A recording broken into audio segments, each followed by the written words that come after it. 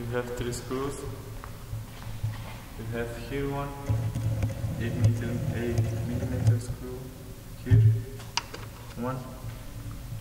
The second one is here. You can see it here. And under this.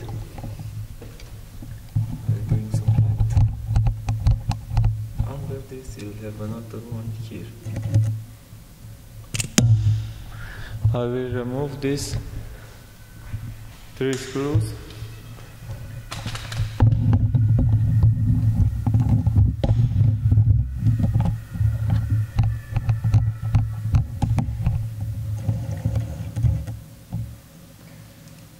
And after that we will remove it.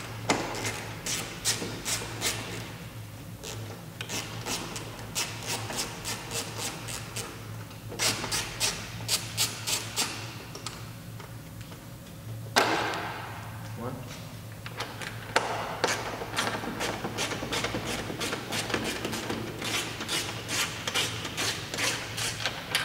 Two.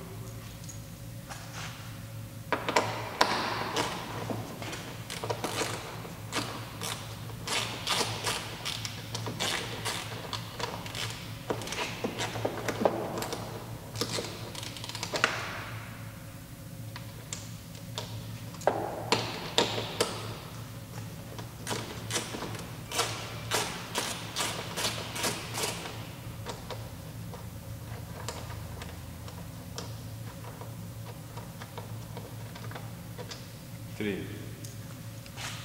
We have two long and one short.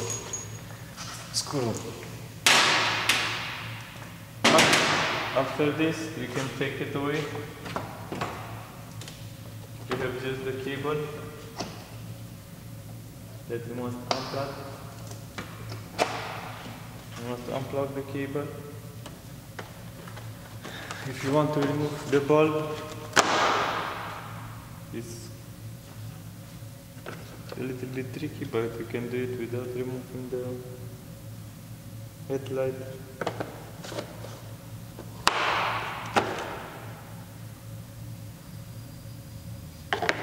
This is it.